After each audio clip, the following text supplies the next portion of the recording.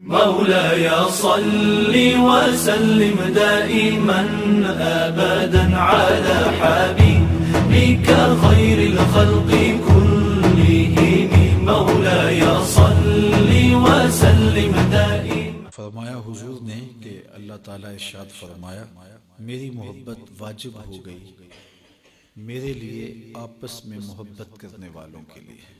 ہم کسی سے محبت کریں یا کوئی ہم سے محبت کرے، تو شاید ہم اسے کوئی نفع نہ پہنچا سکے۔ لیکن اللہ جس سے محبت کرے، اس کی دنیا میں بھی خیر ہے، آخرت بھی خیر ہے۔ اور اس پر اللہ کی محبت واجب ہو گئی، جو ایک دوسرے سے رضائے الہی کے لیے پیار کرتے ہیں۔ تو اللہ جل شان ایسے لوگوں سے محبت کرتا ہے، جو اللہ کے لیے ایک دوسرے سے محبت کرتے ہیں اللہ کے لیے اکٹھے بیٹھتے ہیں، اللہ کے لیے ایک دوسرے کی زیارت کو جاتے ہیں اور اللہ کے لیے خرچ کرتے ہیں۔ تو اللہ تعالیٰ ارشاد فرماتا ہے، وہ میرے لیے بیٹھتے ہیں، میرے لیے خرچ کرتے ہیں، میرے لیے ملاقات کرتے ہیں، میرے لیے ایک دوسرے سے محبت کرتے ہیں، میری محبت ان پر واجب ہو گئی۔ میں ان سے محبت کرتا ہوں، تم آپس میں میرے لیے جمع ہوئے ہو، میں تم سے پیار کرتا ہوں۔ حضرت ابو مالک اشری کہتے ہیں، میں حضور کے پاس بیٹھا ہوا تھا۔ یار، کیا ناز ہے۔ میں حضور کے پاس بیٹھا ہوا وہ لوگ بات کرتے ہیں نا، تو بڑے فخر سے کہتے ہیں، بظاہر بڑی بے نیازی سی ہوتی ہے، لیکن جو پیچھے موسیقی چل رہی ہوتی ہے، وہ سمجھ میں آتی ہے۔ وہ میں ڈی سی کے پاس بیٹھا ہوا تھا۔ میں منسٹر کے پاس گیا تھا تو یہ بات ہوئی تو سنانا تو مقصود یہ ہوتا ہے کہ میں وہاں بیٹھا تھا۔ تو وہ ناز کرتے ہیں، میاں یہ کوئی ناز کرنے والی بات ہے، ناز تو ابو مالک اشری کا ہے۔ کہتے ہیں، ایک دن میں حضور کے پاس بیٹھا ہوا۔ اللہ اکبر، دیکھیے کیا ناز ہے۔ کیا فخر ہے۔ اللہ اکبر۔ کالا کن تو اند النبی صلی اللہ علیہ وآلہ وسلم۔ کہا، میں حضور کے پاس تھا کہ حضور نے ارشاد فرمایا، اللہ کے کچھ بندے ہیں، نہ تو وہ نبی ہیں اور نہ ہی وہ شہید۔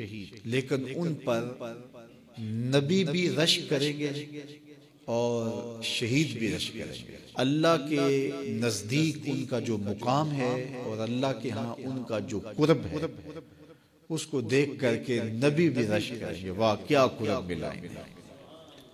اس کا یہ مطلب نہیں کہ نبیوں اور شہیدوں کو وہ قرب نہیں ملا ہوگا۔ چھوٹا بچہ حفظ کر جائے تو بڑے بڑے علماء جو پکے حافظ بھی ہوتے ہیں اس پہ رش کرتے ہیں یار کیا قسمت ہے بچے کہ حفظ قرآن کی سعادت پائی۔ تو نبی تو نبی ہیں شہید تو شہید ہیں۔ لیکن وہ اللہ کے اتنے مقرب ہوں گے کہ نبی نہ ہونے کے باوجود اللہ کے قریب شہید نہ ہونے کے باوجود اللہ کا اتنا قرب حاصل ہے۔ تو نبی اور شہید ان بندوں پر رش کریں گے۔ حضور کی مجلس میں طرح طرح کے لوگ تھے۔ ایک دیہاتی بیٹھا تھا۔ اس نے کہا حضور بتا دیجیے وہ خوش نصیب کون ہوگا کہ جس پر نبی بھی رش کریں گے جس پر شہید بھی رش کریں گے۔ اللہ اکبر۔ تو حضور نے فرمایا سنا اور دل تھام کے سن اللہ وہ اللہ کے بندوں میں سے کچھ بندے ہوں گے جو مختلف شہروں سے آئے ہوں گے اور مختلف قبیلوں کے ہوں گے۔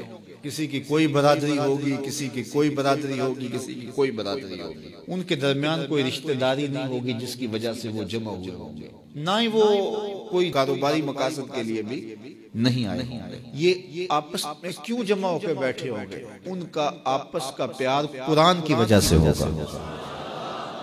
ان کی آپس کی محبت کس وجہ سے ہوگی؟ قرآن نے ان کو جوڑا ہوگا۔ قرآن کی وجہ سے وہ باہم مشترک ہوں گے۔ ان کے شہر الگ ہوں گے، قبیلے الگ ہوں گے، برادریاں الگ ہوں گی، اور آپس میں رشتہ داریاں بھی نہیں ہوں گی۔ لیکن وہ جڑے بیٹھے ہوں گے کس وجہ سے؟ قرآن مجید کی وجہ سے۔ اللہ ان کے چہروں کے اوپر نور ڈال دے گا۔ نور چمک رہا ہو۔